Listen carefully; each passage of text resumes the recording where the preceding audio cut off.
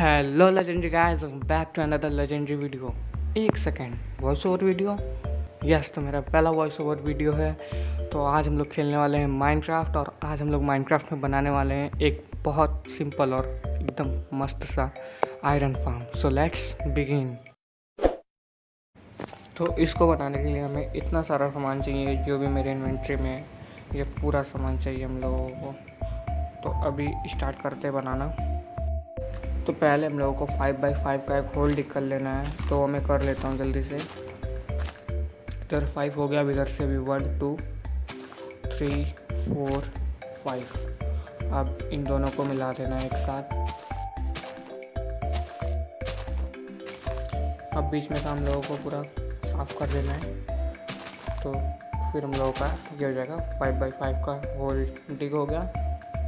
अब हमें seven block अंदर तक डिग करना है तो one two three four five six seven तो अभी हमें बीच में का पूरा खाली कर देना है तो वो मैं आपको जल्दी से करके मिलता हूँ। तो ये हो गया हमारे सेवन ब्लॉक डीप होल तो अभी इसमें हम लोगों को नीचे जाकर इधर दो दो ब्लॉक हटाने हैं अंदर से। तो इसको भी जल्दी से हटा देता हूँ मैं।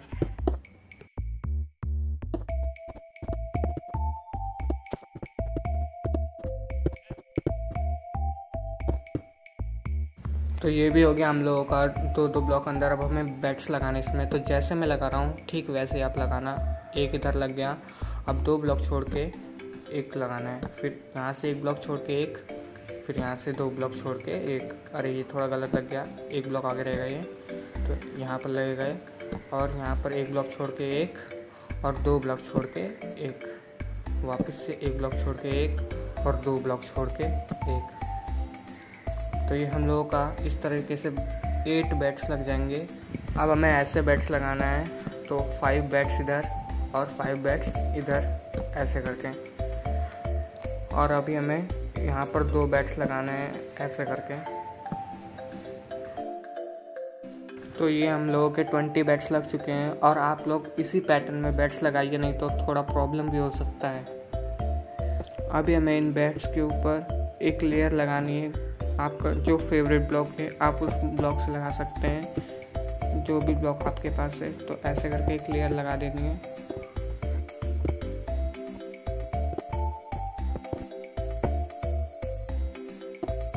तो ये हमारा लेयर लग चुका है, और अभी इस जगह पे हमें कुछ फ्लैचिंग टेबल्स लगानी है। तो जिस पैटर्न में मैं फ्लैचिंग टेबल्स लगा रहा हूँ, आप भी सेम उसी पैटर्न में फ्लैचिंग टेबल्स लगाना। तो यहाँ पर फोर ब्लॉक डिक कर लेना है और ऐसे करके फ्लैशिंग टेबल्स लगा देने हैं। और इस साइड पे कुछ अलग सा है। यहाँ पर ऐसे डिक कर लेना है। अब यहाँ पर ये दोनों ब्लॉक भी डिक करने थे, मैं भूल गया। और ऐसे पूरा ये वाला पैटर्न रहेगा। तो अभी इस साइड पे भी वैसे ही लगाना है, जो इसके अपोजिट साइड पे लगा है। तो चार ब्लॉक डिक किया और ये सेम इस साइड का हो गया। अब हमें इस साइड इसके अपोजिट साइड वाले की तरह लगाना है। तो ऐसे फाइव ब्लॉक डिक किया और एक ऊपर। तो ये इसके अपोजिट साइड वाले की तरह सेम टू सेम हो गया। तो ये हम लोगों का पूरा कंप्लीट हो गया और बीच में हम लोगों को एक टॉर्च लगा देना है।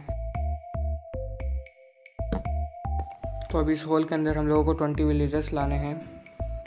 तो आप अगर सर्वाइवल में खेल रहे हो तो आप रेल का यूज़ करके भी विलेजर्स को उस खड्डे के अंदर डाल सकते हो।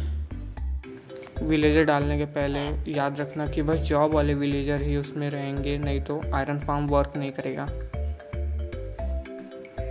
तो ऐसे आप माइन कार्ट के थ्रू विलेजर्स को खड्डे के अंदर डाल सकते हैं।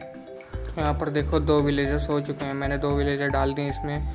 आप इन दोनों को ब्रीड करा के ट्वेंटी विलेजर्स ला सकते हैं। तो इनको मैं पोटैटो दे देता हूँ, जिससे ये लोग ट्वेंटी विलेजर्स लेकर आ जाएँगे। तो ये देखो, ऐसे छोटे वाले विलेजर्स इस फार्म में नहीं चलेंगे। तो इनको मैं मार देता हूँ। ही ही। किसी ने नहीं देखा। और हाँ ये ग्रीन वाले विलेजर्स भी नहीं चलेंगे तो इनको भी मैं मार देता हूँ।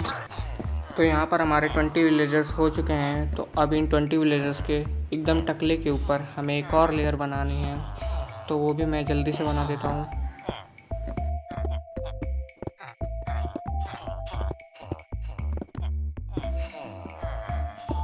तो ये लेयर भी हम लोगों का कंप्लीट हो चुका है। तो अभी हम लोगों को साइड साइड के एक एक ब्लॉक हम लोगों को रिमूव करने हैं। तो वो भी मैं रिमूव कर देता हूँ बस दो सेकंड के अंदर।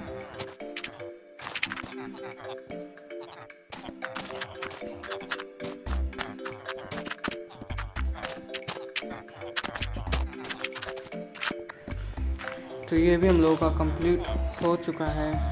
तो अभी हम लोगों को एक एक ब्लॉक लगाने हैं। एकदम साइड में। ये देखो, ये आयरन गोलम स्पॉन भी हो गया, हम लोगों को काम करते करते। अरे, मैं भी काम ही कर रहा था और एक और आयरन गोलम स्पॉन भी हो गया। मतलब दो दो आयरन गोलम हो गए। तो अभी हमें इन दोनों ब्लॉक्स के ऊपर वाटर बकेट डालना है और इधर एक ब्लॉक छूटेगा तो मतलब हम लोगों का फान सही बना है। तो यहाँ पर हम लोग एक होल डिक कर देते हैं, जिससे हमें पता रहे और ये वाटर हम लोग हटा देते हैं। नहीं तो बहुत प्रॉब्लम करेंगे ये दोनों आयरन कोलम फिर हमें इस होल के एक ऊपर ब्लॉक डिक करना है और ये दोनों ब्लॉक हटाने हैं और यहाँ पर हम लोगों को चेस्ट डालना है। तो मतलब हम लोगों का कलेक्टिंग सिस्टम बन रहा है अब और यहाँ पर एक हॉपर लगा देना है जो चेस्ट में फनल करें और फिर हमें यहाँ पर साइन बोर्ड्स लगाने हैं। उसके बाद हमें दो ब्लॉक्स लगाने हैं ऐसे करके जो सॉलिड ब्लॉक्स हों। फिर हमें यहाँ पर एक ब्लॉक लगाना है, उसके ऊपर एक फेंस और उस फेंस को खोल देना है। फिर हमें इस ब्लॉक के एकदम नीचे एक स्लैब लगाना है, ऐसे करके, और उसके ऊपर एक साइन बोर्ड लगाना है। तो साइन बोर्ड लगा देता हूँ मैं। और इन दोनों साइन को तोड़ देना है। ये मैं गलत साइन लगा दिया। यहाँ पर साइन नहीं लगेंगे। इसके ऊपर वाले ब्लॉक पे लगेंगे यहाँ पर, दोनों साइड को। और हमें इस ब्लॉक पे लावा डाल देना है। फिर हमें यहाँ पर वापस से वाटर बकेट डाल देने हैं, जिससे हम लोग के आयरन गोलम मरना स्टार्ट हो जाएँगे और हमारा ये आयरन फार्म बन चुका है। तो ये देखो कितना अच्छे से वर्क कर रहा है। तो अगर आपको वीडियो पसंद आ रही है तो प्लीज़ आप लोग लाइक कर दो और चैनल को सब्सक्राइब कर दो।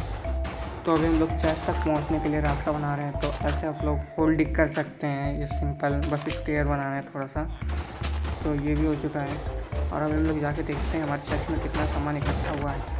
और इतने जल्दी आठ आयरन इंगट हो भी गए तो देखा आप लोगों ने कितना अच्छे से वर्क करा है हम लोगों का आयरन फार्म तो प्लीज़ यार, जिन लोगों ने भी लाइक सब्सक्राइब नहीं किया है तो प्लीज़ वीडियो को लाइक और चैनल को सब्सक्राइब कर दो।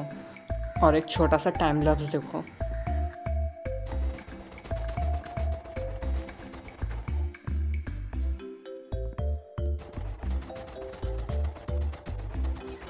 तो आप लोग देख रहे हैं, हम लोग आयरन फार्म कितने अच्छे से वर्क कर रहा है। तो आज की वीडियो के लिए बस इतना है। अगर आपको वीडियो पसंद आई हो तो प्लीज़ चैनल को सब्सक्राइब और वीडियो को लाइक कर देना और कमेंट करके बताना बेस्ट पार्ट कौन सा लगा। तो मिलते हैं जल्दी और लेजेंडरी वीडियोस के साथ। तब तक के लिए गुड बाय